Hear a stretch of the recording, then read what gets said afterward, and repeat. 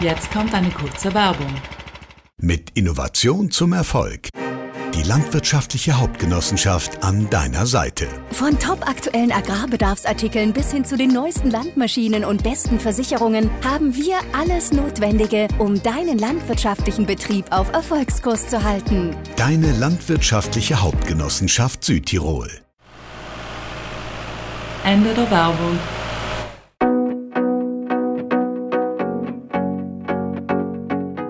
Hallo und herzlich willkommen bei Zurglost, dem Podcast des Südtiroler Landwirt.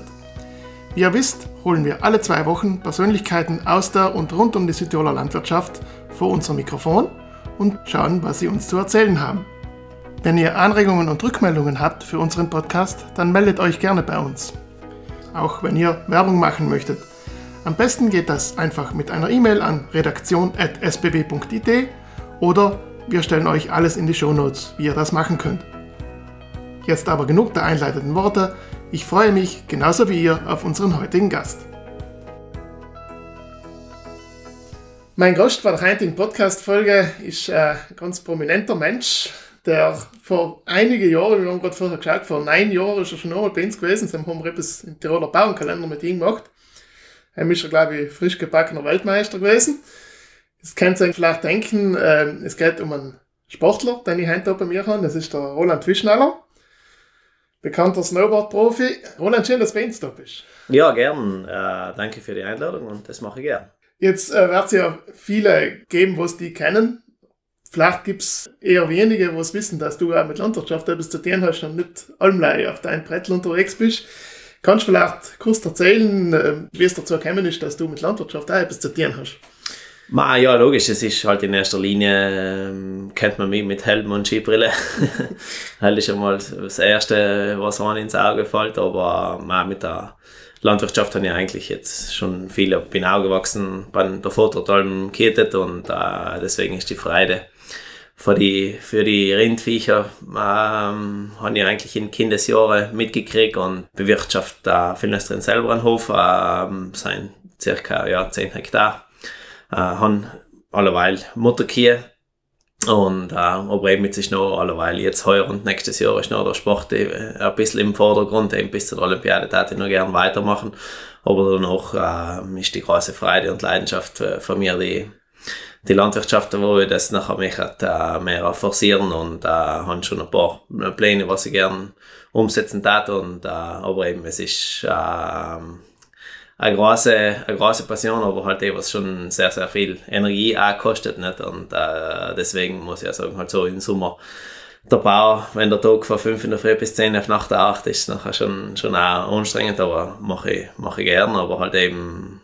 Hut ab, was im Land auch die anderen Landwirte und Bauern alles leisten, ist schon eh gewaltig, ja. Mhm. Muss man eigentlich eh einmal das richtig wertschätzen und sagen, das machen sie eigentlich wirklich einen mega guten Job. Habe ein bisschen nachgelesen, was du uns so vor neun Jahren erzählt hast. Äh, sie haben schon ein bisschen erzählt, eben, wie du ein bisschen aufgewachsen bist. Also wie das, wie das gegangen ist, dass du eigentlich deine fast die ganze Kindheit mehr oder weniger auf die Almen unterwegs gewesen bist. Wie hatten die das geprägt und kannst du uns vielleicht aus der Zeit noch ein bisschen erzählen? Ah ja, die Seltzeit, äh, muss ich sagen, ist schon, äh, muss ich sagen, eigentlich die beste Kindheit, was man sich so vorstellen kann in, in der Früh. Äh, Vater hat ist bei der Forst hat gearbeitet nicht? und dann habe ich in der Früh, äh, was bin ich gewesen, zehn Jahre alt, dann in der Früh gemäßt 8, 9 Kühe Ähm, die, die Kindheit war für mich eine Unbekümmertheit. Es war, ich war den ganzen Tag draußen, ich war, ich bin, ja, den ganzen Tag auf gut Deutsch von Stein zu Stein gekupft und das, glaube ich, hat das mich in meiner Karriere sehr, sehr geprägt. Ich bin jetzt 44 Jahre alt und das sagst das kannst du beim Weltcup noch auf Top-Level vor mitfahren. Ist sicher äh, den, den zu verdanken. In meiner, in meiner Kindheit, ähm, es hielten Albenbewegung von der Früh auf Nacht zur Bewegung, kein Handy, logischerweise, nichts, mhm. halt digitalisieren. Wunder Zeiten, ja. Ja, auf gut Deutsch ein analoges Aufwachsen. Das hat mich sicher sehr geprägt in meiner sportlichen Karriere und ähm, vor allem auch, will ich es nicht verschreiten, aber ich bin schon überzeugt, dass das auch ein großer Schritt äh, gewesen ist, dass ich meine Karriere gekannt habe. Ja, jetzt nicht komplett verletzungsfrei, aber halt zum größten, zum größten Teil nicht. Aber das ist von mir aus gesehen, ist das wirklich die Kindheit gewesen bei jedem Wetter draußen auf Nacht bei äh, Blitz und Donner auch noch zwei Stunden gemäß die Kier suchen gehen und so weiter. Nicht? Das hat mich sicher geprägt und ähm, von dem zehre bis heute. Wie ist denn das dazu gekommen? Also, weiß ich nicht, wie das zu der Zeit genau war. Ich bin ein, zwei Jahre, Jahre älter als du noch. Äh, es ist ja dort eine Zeit gewesen, wo's, wo's, wo die meisten, wenn sie jetzt äh, Sporteln gegangen sind, im Winter dort auf zwei Brettern unterwegs gewesen sind. Ja. Äh, wie ist denn das dazu gekommen, dass du länger auf Uhren warst? Äh, ich bin davor auch Ski gefahren. Ich bin Ski gefahren, auch. meine Schwester ist noch gefahren, aber mein damaliger Trainer, äh, der Bremsholer Erich, aber halt ja, es ist eigentlich allem noch wenn ich etwas brauche oder einen Tipp brauche, ist er allem noch nach wie vor eine, eine wichtige Ansprechperson für mich der Sell hat äh, nimmt beim Lift drin, bei uns Fitness, beim, beim Federlift gesehen, ist er, hat er 10 cm tiefe Furchen gezogen mit dem, mit dem Snowboard, hat äh, lange Hoch gehabt, äh, ein schönes Auto und eine schöne Freundin und das hat du eigentlich gesagt, das, das, das, das, will ja. das, das muss es werden. Und nachher muss ich ganz ehrlich sagen, ist halt bei mir hat die Vorbildfunktion schon 1 zu 1000 gewirkt. nicht? Und halt ist muss ich sagen, schon in der heutigen Zeit auch für die Kinder sehr, sehr wichtig. Als Kind Galling mal Alter, wo das Wort von, von den Eltern, von Mama und Tata nicht mehr viel Wert hat, nicht? Nachher sind die Vorbilder umso mehr wert, nicht? Und deswegen muss ich schon sagen, bin ich schon stolz daran, dass ich jetzt auch in der Zeit jetzt ich für viele Kinder ein Vorbild sein kann, die was man halt auf Brief schreiben oder auf Instagram schreiben und halt was sie halt welche Entscheidungen machen. Sie wissen nicht, ob sie halt beim Sport weitermachen den und halt so die Unsicherheiten, was sie halt in, in die Jugendjahre hast, aber die ähm, probiere ich ihnen schon gut so zu reden und halt es ist, bin nach wie vor überzeugt, dass der Sport einer für die besten Lebensschulen ist. Du, du, vor allem der Einzelsport, du stehst auf dem Start und du musst selber einen Plan haben, nicht? aber du du brauchst im Leben auch einen Plan. Du kannst nicht einen Tag normal in die Leben und schauen, was geht. Nicht ein bisschen einen Plan und ein Konzept brauchst du einfach. Und halt lernst du einfach in, beim Sport umso mehr. Und deswegen ähm, möchte ich auch, dass meine Kinder sportlich aktiv sind. Sie seien zum Glück, haben, haben eine sehr, sehr große Freude. Und ähm, Maria geht wahrscheinlich eh die Sportschule in Störzing und die, die Heidi ist auch beim Snowboardfahren hat sie ein großes Talent und der Florian auch und äh, deswegen muss ich sagen, man ist eine große Freude, dass ich mir die Sparte auch sehr, sehr gefällt. Jetzt logisch hinzwingen und hindrucken, drängen möchte man sie nicht in Leistungssport, wenn sie es gern machen, äh, herzlich gern, aber es ist der Leistungssport so, möchte es jedes Jahr mehr, es ist einfach schon eine knallharte Geschichte, ja. Ich denke, das ist vor allem auch als Kind hat das schon auch eine andere Art, wie man, wie man aufwächst. Also als Jugendlicher denke ich mal. Ja, es sind, es sind sehr, sehr viele Empörungen äh, möglich. Jetzt habe ich ja, hast gerade ein Interview gemacht und ähm, haben wir irgendwie gesagt, es ist effektiv das erste Mal gewesen mit 3, 4, 25 Jahren alt, dass ich mit den Kollegen das erste Mal auf dem Meer war, auszugehen. Das war ich davor nie. Nicht? Halt, das war, mhm. es war, ich war allem Herbst im Sommer auf der Alpe gewesen und auch im Herbst gleich auf die Gletscher und, und äh, aber halt eben die Jugendzeit, die ist leider Sommer geflogen, aber die haben wir nie halt auf die, auf die Gletscher verbracht, nicht? aber ist egal, nicht? Halt, da sind ja viele, die das, in das gewollt unbedingt durchziehen und ähm, ja, und jetzt bin ich in meinem Karrierefinale. jetzt noch die heurige Saison und nächstes Jahr die halbe, aber eben wenn ich es schaffe, für die Olympiade zu qualifizieren, nachher ist es sicher das in Levin das letzte Rennen von mir. Hoffen wir mal das Beste, dass, ja. dass wir das andere sehen. Eben, du bist Profisportler und ich weiß ja, dass das natürlich nicht leider Winter jetzt eine strenge Zeit ist, eine Zeit, wo du viel unterwegs bist. Jetzt im Sommer weiß man ja, dass viele, viele Spitzensportler sind noch auch unterwegs sind in anderen Regionen der Welt, wo es eben gerade Winter ist. Ist es halt bei dir auch so oder bist du im Sommer eigentlich allem da? Ich bin im Sommer allem da. Ich bin früher auch, wir sind viel Chile und Argentinien gefahren. Das mache ich nicht mehr, weil ist, mein, ist mir meine Familie zu wichtig. Mhm. Für einen Monat Argentinien hatte ich erstens nicht die, war, war, fehlt mir die Motivation und zweitens ich muss ich beim Hai schauen, dass es alles wie läuft, nicht, aber ich tue in der Früh, ich fahre viel still für Joch schnallt sich leider zu über den Sommer, aber stellt sich auch, ähm, geht schon um 6 in der Früh auf, dann bin ich meistens schon auf dem Lift oben und um, um 10 äh, mache meine 10, 15 Fachten und um 10 bin ich daheim beim Heimmann. Und das geht für mich, äh, geht für mich super.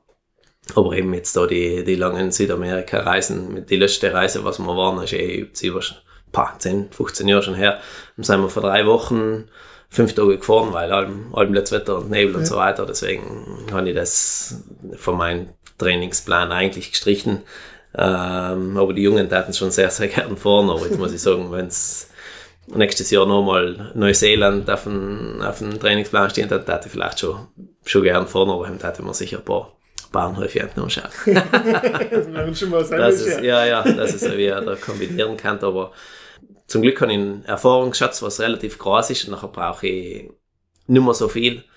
Ich muss schauen, dass ich eine gute Qualität habe beim Training, das sprich einen relativ einen guten Schnee, dass ich körperlich gut benannt bin und nachher geht es eigentlich und bin in, in ein paar Tagen bin ich schon eigentlich relativ gut in Form, aber haben viele Jahre gebraucht, um auf den Punkt zu kommen. Ne? Mhm. Und äh, zum Glück hat es heuer entlang sehr, sehr viel geschnieben und das ein, auf die, die Gletscher sein, trotz, trotz allem sind sie relativ gut benannt. Das will nicht heißen, dass da, der, der, der Gletscherschwund die letzten fünf, sechs Jahre ist brutal gewesen. Ich bin äh, jetzt letzte Woche wir, Hintertux gewesen und halt bin ich bei meiner Karriere gewesen als das erste Gletschertraining, was ich gemacht habe mit der Mannschaft, war Hintertux. Praktisch ist es seit 25 Jahren her. Ja. Ähm, brutal. nicht mehr viel Nein, nicht mehr zu, nicht mehr zu kennen, ja. wo wir überall gefahren sein oder noch trainiert haben. Ist wirklich alles mehr Gletschermoräne und Felsen ist wirklich gewaltig, was es, wenn ich das halt ja, vor Augen gestellt kriegst, tut es auch schon im Herzen weh, ja. Wie ist denn das? Hilft dir jemand auf dem Hof daheim? Oder geht das so? Ja, nein, das hat man, das hat man da im Winter das vierte Natal der Foto gemacht. Also Im Winter ist der Foto, im Sommer die Hai-Arbeit ist mein Job gewesen und im Winter das vierte hat er gemacht.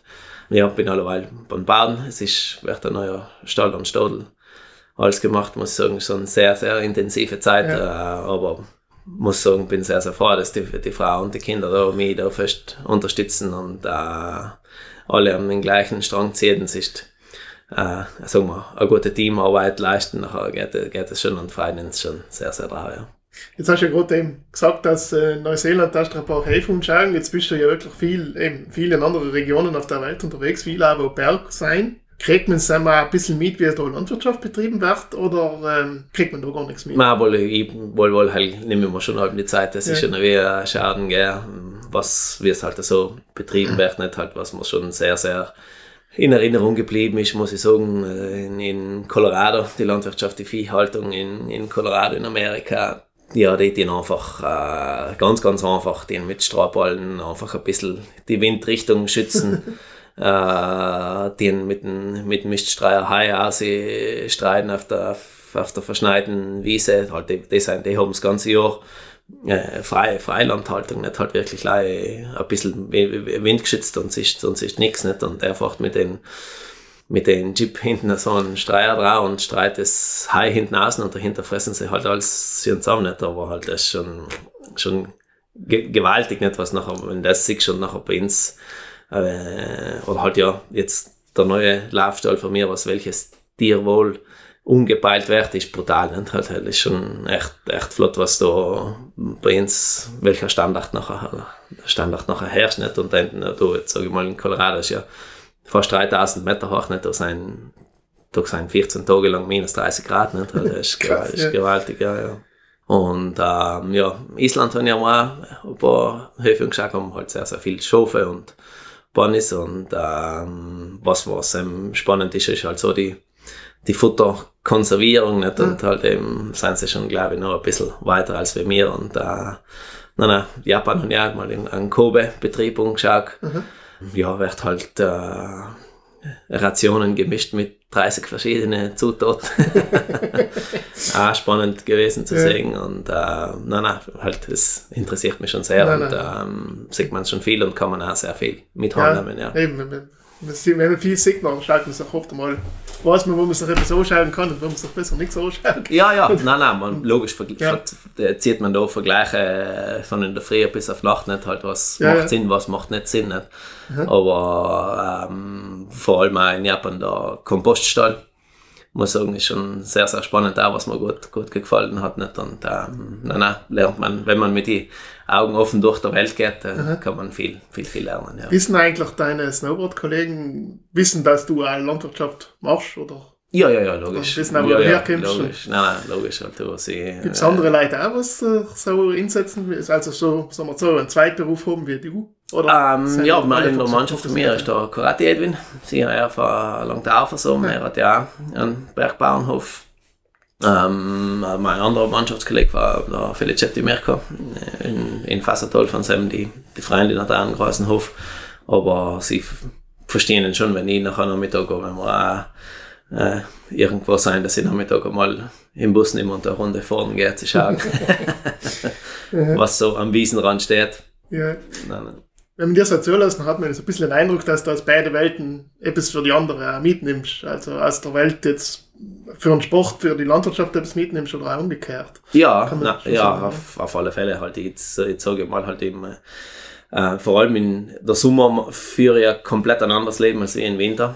Total komplett anders, nicht halt wie meine, auch zum Beispiel meine Mannschaftskollegen nicht halt ähm, ge genießen oder halt ja, sage ich mal, halt ist jetzt vielleicht das falsche Wort nicht, aber halt ja, machen halt die immer Trainingseinheiten, gehen sicher mal äh, ins, ins Schwimmbad und so, aber halt halt in, in Sommer bei mir, wenn gut Wetter ist, ist halt heimzuarbeiten nicht und es ist oder zu sein oder was auch immer nicht. Aber vor allem so, wie es heuer gewesen ist, ist mit der, mit der Bauerei ist einfach eine sehr, sehr intensive Zeit gewesen und ähm, nachher muss ich sagen, komme jetzt in, in Herbst zum ersten Training, ähm, bist in einem Hotel, fragt dich, was du essen willst, ich mach halt, ja, na, halt heimkommst, man Ja. schon echt wie, wie, wie, wie ein Urlaub fast vier, nicht? Obwohl es nachher untertags, du sein, bist um sieben in der Früh auf der Piste bis zum Mittag, es ist echt sehr, sehr intensiv, ja. Logisch, jetzt mit 44 tue ich mich einfach auch härter. Ähm, es, da äh, ist einfach ganz normal, dass die, die erholen tust du einfach härter, nicht? Hell ist, hell ist normal, hell ist jeder so, nicht? Und du bist vielleicht nicht mehr ganz so, äh, ich sage mal körperlich nicht mehr ganz so belastbar, aber dafür bist du mental dafür umso schlauer. Nicht? Hell, ist, hell ist sicher, und mit dem Sam mache ich sicher sehr, sehr viel wett. Aber nein, nein, es ist, macht einfach Spaß. Ich sage mal, beim Training es sind die, in die Minute, wo ich in den Lauf fahre, halt tue ich einfach echt mega gern und äh, deswegen schaue ich noch, dass ich die eineinhalb Jahre gut weiter erziehe. Aha. Jetzt äh, hast du so einen Eindruck, dass, weil du warst ja Rennen fahren gegen Leute zum Teil, die zum Teil auch deine Kinder sein könnten fast, dicken die jüngeren Leute heint anders, als äh, das bei dir früher war, oder hat sich da eigentlich nichts geändert? Ähm, ich muss sagen, jetzt die letzten, jetzt sind die letzten zwei, drei Jahre, sind ja zwei, ja, zwei oder drei Jahre, ich weiß nicht mehr ganz genau, sind die Russen nicht mehr, halt, äh, sind ja gesperrt, nicht? Aber es ist doch so davor, ähm, muss ich sagen, die russische Mannschaft, aber halt ja die, jetzt sage ich ja, jungen Buben, die was sage ich, die sind großteils aus, aus Sibirien, die haben, die, die dicken sehr, sehr ähnlich wie funktioniert hat. Halt, da war sonst nichts nicht. Da war Snowboardfahren und sonst nichts nicht. Und, und die, jetzt sage ich mal, der Beste von denen, der Dimitri Loginov, mit dem wir sie sehr, sehr oft gematcht haben, der ist, ich bin Baujahr 80 und der ist 2000. Der ist genau, genau 20 Jahre jünger wie ich, aber gegen den ist ein halben ein, zwei Hundertstel Unterschied gewesen. Nicht? Und der ist, halt, wenn ich den, pah, ja, wenn ich den wie er sein Leben führt, ich war genau gleich. Ne? ich war echt genau gleich. Der ist fokussiert auf seine Sache und er macht es wirklich sehr, sehr gut und der ist wirklich, ja, einer für die, für die Jungen in dem Alter, ein paar Jahre 2000, mit, ja, ist weltweit der Beste, absolut nicht, aber halt logischerweise allerweil. Äh, leider, sage ich mal, kann er nicht oder halt sie sind eine relativ große Mannschaft, ähm, können sie nicht dabei sein, ist eigentlich schon für ein, für uns ein Sport. Aber es ist äh, generell, muss ich sagen, ähm, da uns in Italien, äh, was ich halt so auf die Gletscher siege, sind ja, wir sind ja mit den Langläufer, mit den Skifahrern und so weiter zusammen, ist ein gravierender Unterschied, so wie es wir früher gehabt haben. Ähm, die Trainer sagen auch, du musst die, die jungen Athleten musst fast mit, äh, musst du fast bitten, dass sie kommen. Nicht? Und ähm, es ist logisch, ist die Zeit im Wandel. Es ist äh, die Digi- Digitalisierung äh, im Vollgas im, im Fortschritt und nachher Ja. wir halt sie oben, bis die jungen Athleten in der Früh auch kommen, einmal etwas gepostet haben, bis die die Schuhe angezogen haben, bis alles erledigt ist, Also, haben, wir, ja. haben wir nie schon drei Fachten gemacht. Ne? Nein, ist schon interessant. Ja, es geht ja, ja. in alle Bereiche gleich. Es geht in alle Bereiche gleich. Ob es eine gesunde Entwicklung ist, weiß ich nicht. Ja. Äh, weiß ich nicht. Aber halt, ich glaube, für einen für einen- für einen Sport, da ich mal sagen, so wie du vorher gesagt war ein bisschen ein analogeres Zeitalter sicher vom Vorteil. Ja, sie hängen halt sehr, sehr, ja, den ganzen Tag. Wie gesagt, wenn ich mal Trainer war, haben wir das Handy verboten auf der Piste, ganz, ganz sicher. Sie hängen sehr, sehr viel am Handy. Beim Lift vorne oben schauen sie auch alle auf dem Handy. Äh, überlegen nicht, was sie die nächste Fahrt besser machen könnten. Und das sind halt schon, es ist, ja, es ist das Handy oder jetzt sage ich mal, äh, der Bildschirm auch mittlerweile auf der Piste angekommen, ja. Jetzt hast du ja schon äh, eben, äh, du gibst mir ein gutes Stichwort. Du hast gesagt, das, das waren jetzt noch eineinhalb Jahre, also dein Ziel war, dass du vielleicht bei, bei Olympien oder dabei bist. Du hast jetzt gerade gesagt, wenn ich noch vielleicht irgendwann Trainer bin, hast, was soll dein Plan? Einmal alleweil steht er nicht auf dem Plan, steht er nicht auf dem Plan, weil ich wirklich möchte in der Landwirtschaft ähm, oder halt ja aus dem Hof etwas draus machen. Haben zwar schon ein Angebot vom Ausland auch, aber, aber ich glaube nicht. Ich bin, mu- muss ich sagen, bin wirklich die, ja, jetzt seit 30 Jahren, dass ich die Welt bereise, mehr oder weniger für den Sport und ähm, ich möchte, was ich echt möchte, ich möchte noch meine Kinder gut trainieren. Äh, Zeltart mir gefällt mir schon. Möchte ja, dass sie auf einen guten, auf einen guten Level bringen äh, und vor allem in Hofhafen schauen, dass etwas Gescheites draus wird, nicht? aber halt eben, dass ich sage, äh, dass ich, jetzt sag ich mal, die italienische Mannschaft trainiere, äh, glaube ich eher nicht. äh. Ich glaube eher nicht, wenn, wenn vielleicht irgendeiner in einer anderen Funktion, aber dass ich in der Früh auch immer in, in den Lauf ausstecken, glaube ich, da wäre ich nicht drin, aber ähm, ist mir einfach schon die Zeit, die letzten Jahre wirklich, ja, kann ich sagen, ein Großteils von meiner Lebenszeit bis jetzt an den Sport gewidmet und danach muss es besonders sein. Kommen wir so langsam zum Abschluss von unserem Gespräch. Äh, wie gesagt, du bist ja vor einem Jahr schon mal da gewesen. Seitdem habe ich ein Autogramm von dir in meinem Büro hängen. wie, wie siehst du so also die, die Landwirtschaft in Südtirol in Zukunft? Was, was für Herausforderungen siehst du darauf zukommen? Ma, die Herausforderung, was ich sehe, ist sicher, ist sicher, ja, mm, ich bin Kim halt von der Berglandwirtschaft, Ja, ja, also äh, heimisch sicher, es muss das Ziel sein, dass die, die Leute, äh, vor allem die Politik, die ich sage, gefragt, die Leute, dass sie es schaffen, die Leute auf, den, auf die Höfe zu halten. Nicht? Ihm eine Rahmenbedingungen zu geben, dass sie sagen, boah, Tag mache ich weiter, ich mache bis draus, äh, in die Jungen eine Motivation zu schenken, äh, ein Ziel zu schenken, äh, ja, unter Anführungsstrichen auch Hoffnungen zu machen, das, das geht weiter mit den Hoffnungen. Oder halt einfach gleich hinschmeißen und verkaufen ist die letzte Option nicht? Und hell war ist, ist ganz, ganz schlecht nicht? Und äh, aber eben ja, ist sicher die Politik gefragt, da die Rahmenbedingungen zu schaffen, es ist sicher ganz, ganz schwer. Es ist ab 1200 Meter aufwärts, was einer instand ist, ein hochwertiges Nahrungsmittel zu produzieren, ist da wieder kein. Weil ist, äh, so ist Schaf, Gas, Ziege, Kuh. Und ähm, eben da weiterhin, jetzt sage ich mal, ja, zukunftsorientiertes, äh, ja, aber vor allem auch, dass sich ja so ein Bergbauernhof rechnet, rechnet und dass die Leute halt stolz drauf sein, es weiterzumachen, vor allem jetzt die nächste Generation, ne? die, was, was da nachher gefragt ist, etwas draus zu machen. Und ähm, die Produkte, was wir haben, oder zu produzieren und einfach gut weiter veredeln und einfach auf den, auf den Markt, auf unserem Tourismusland, die das auf den heimischen Markt zu verkaufen, nicht, weil es ist Masse, da produ- produzieren wir ja sowieso nicht, ne? Ja, Halt geht sowieso nicht, und deswegen müssen wir halt schauen.